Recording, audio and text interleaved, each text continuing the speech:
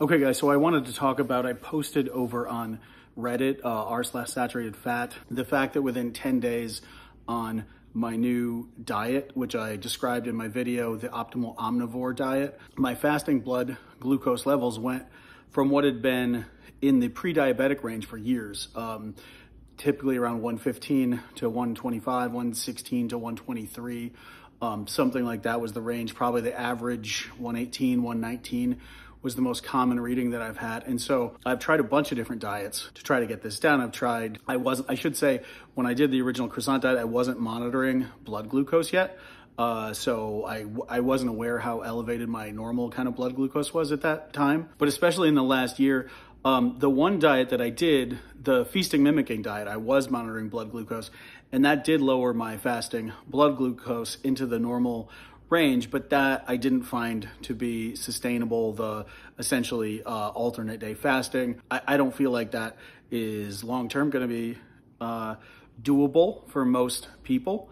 Um, it's hard, and so I wanted I wanted something that was easier. And if you've been following the channel, I've been talking more. I've been trying some more low fat diets. Check out my video, the Redox Case for Carbohydrates in Under 10 Minutes, and you can see the the rationale for for trying some of these low fat, high carb diets. And I've been using supplements designed to get my blood glucose down, including uh, R alpha lipoic acid, which I talk a lot about in these uh, in my videos, and also SEA, my new supplement that I talk about in last week's video. You're inflamed because you're torpid, and so the optimal omnivore diet really pulls out all the stops. So what what I did was uh, so so what I'm doing is I'm restricting uh, protein and especially branched chain amino acids.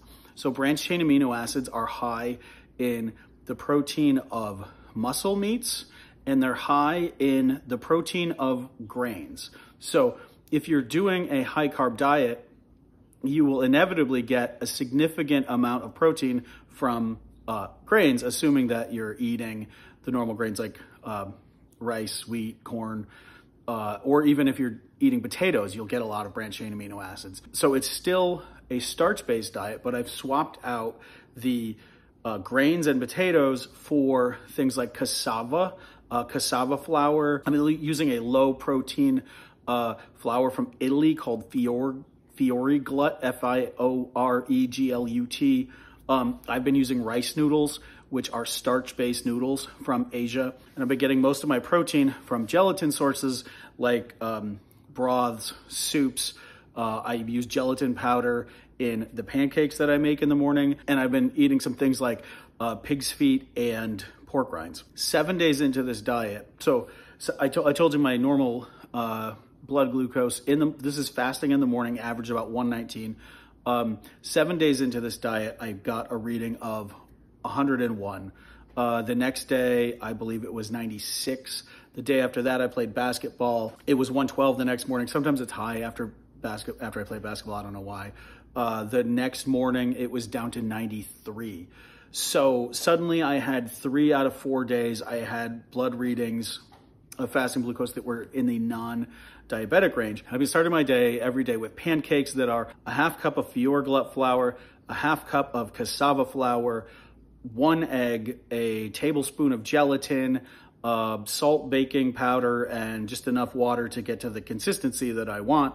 Um, and then I use maple syrup and fruit preserves on it. And so this, the, the only protein in this meal is the, is the one egg, which you need to make the pancakes fluffy, and the tablespoon of gelatin. The reason for the gelatin, so diabetic and obese humans have elevated levels of branched chain amino acids, and at least in mouse studies, this appears to be causal because you can put a mouse on a, on a high fat diet and they will, they will become obese and they'll become um, insulin resistant. If you put the mice on the same diet, but you just don't feed them the branched chain amino acids, the mice will remain lean. There was a great study, and I'll put the link in the description, um, showing that in fact, in skeletal muscle, and this is really important, in skeletal muscle, so the problem with obesity and diabetes, in my opinion, is that we get something called energy toxicity.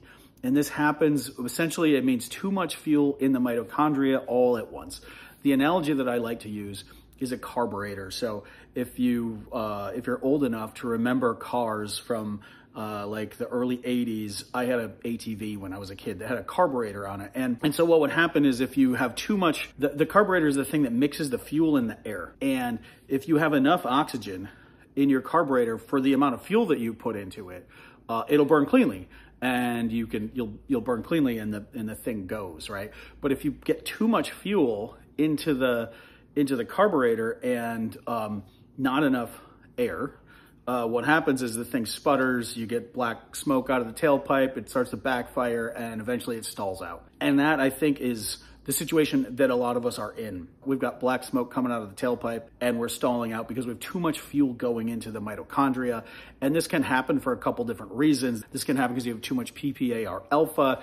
This can happen because you have too much blood glucose. There's a lot of things that are pushing fat into the mitochondria. One of the things that happens is you get a buildup of unburned fats in the form of very short chain fats like acetyl-CoA, butyryl-CoA, which is like a four carbon fat or propionyl, propionyl uh, CoA. And these are very short unburned fats and they've burned almost all the way down, but they're kind of piling up. And so one of the things about an obese person or a diabetic person is if you, if you feed them carbohydrates, they can't switch over to burning those carbohydrates as efficiently as a lean person. So in a lean person, you eat the carbohydrates, boom, insulin signals, you switch over, you start burning that glucose. In obese people, that response is delayed by maybe half an hour. And and one of the reasons is that in the in the mitochondria in the obese human, you have this backlog. You have this backlog of acetyl CoA, and and it's from unburned fat. And um, it can also be from unburned glucose, I should say. But either way, you have this backup of acetyl CoA. And so insulin signals, the signal to start burning glucose uh, is there but yet you have this backlog of fat that you have to burn through before you can start to burn the glucose. And so then you wind up with high blood glucose and all the problems that that causes. What the glycine does, so gelatin and pork rinds and pig's feed and um, other connective tissues are made out of collagen. And collagen is about 20 to 25% glycine. Collagen has uh, around four or five times as much glycine as it has branched chain amino acids. Conversely, muscle meats have four or five times as many branched chain amino acids as they have glycine. And the glycine literally goes in, and I'll put the link to this paper in the description. The glycine goes into your skeletal muscle, uh, mitochondria, and it removes these uh, these acetyl CoA, this propionyl CoA, the things that are preventing you from being metabolically flexible, the things that are overwhelming your mitochondria. And those things actually get connected to the glycine and then you just eliminate them in your urine. According to the paper, the thing that's causing the glycine to be low in the skeletal muscle in the first place is the elevated branched chain amino acids. And so you're eating a lot of, of skeletal muscle uh, you have high branched chain amino acids, uh, you have low glycine coming in, and the branched chain amino acids are pushing glycine levels down even lower. You have this buildup of fuel in the mitochondria. Now you don't have metabolic flexibility to because to burn glucose, you have to you have to get rid of the fat first. You have to get rid of all of those residues of the fat that have been piling up in the mitochondria. So by staying low fat, um, right? So I, I'm I'm eating a lot of carbohydrate. I am using supplements to help me burn those carbohydrates, including uh, RALA, which is R-alpha lipoic acid, and SEA, which I sell on my website, stearoyl ethanolamide.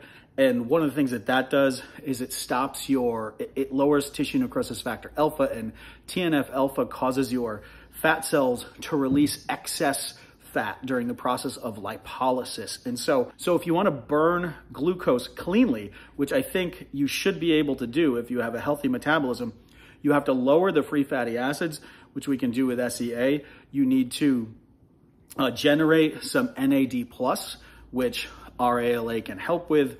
Uh, I've been supplementing with a, a B vitamin complex that has uh, some niacinamide at mealtime, so that's a little NAD plus supplement.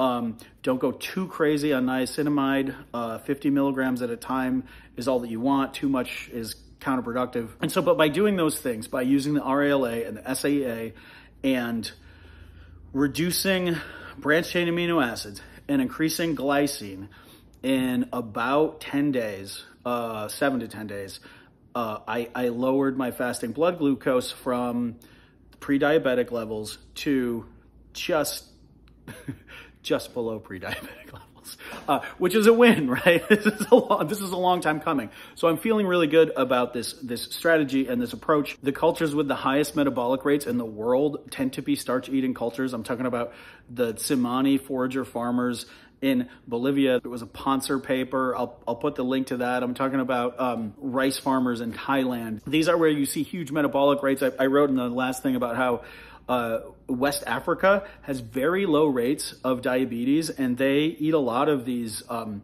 things like cassava and plantain that have very low BCAA levels, so that it's high starch and it's also low branched chain amino acids. So I think that's very interesting. What I'm gonna do next is to make sure my enzymes are actually working how they're supposed to work, right? And this is the whole key, I think. If you can get your enzymes to, to work effectively, if you can clear out um, the mitochondria and get the fuel to burn cleanly, which obviously is kind of easier said than done, but but I think we're making progress here. So my next test, I'm going to do a home version of an oral glucose tolerance test. And so what you do in that is you uh, sit down and you eat like, I, I have to look it up. I think it's 200 grams of, of glucose. So you can get this at a, um, at any pharmacy. They sell glucose capsules for, uh, for diabetics. And then you test two hours later, what's your fasting glucose? So the last time I did this, um, I, I got 180 was my fasting glucose. And so the, the ranges are like pre-diabetic is 140 to 200, right?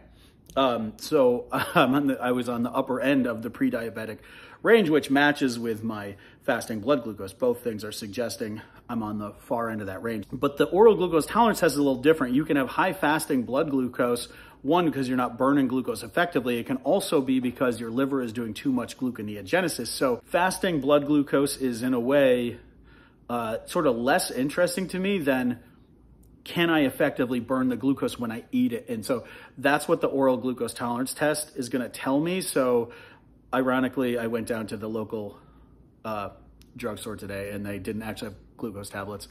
Uh, they were sold out. So test delayed for a couple of days uh, till I can go into the big city, which is Ithaca, which is uh, not a big city, but that is coming up. So I'm excited to see if I can beat my old record score of 180, which should be pretty easy to do. And based on where my fasting glucose is going, I'm feeling very confident about setting a new record.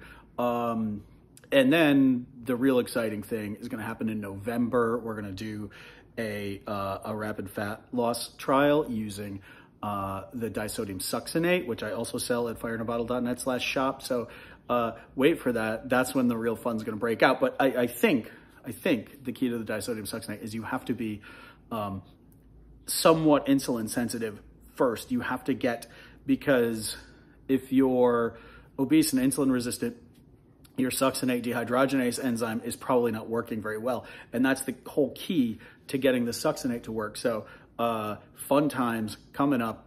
Check in uh, on this Fire in a Bottle channel. Um, you I'm, I'm on Twitter at fire underscore bottle. I'm on, uh, go to Reddit, get a part of that group, r slash saturated fat. I'll see you guys soon.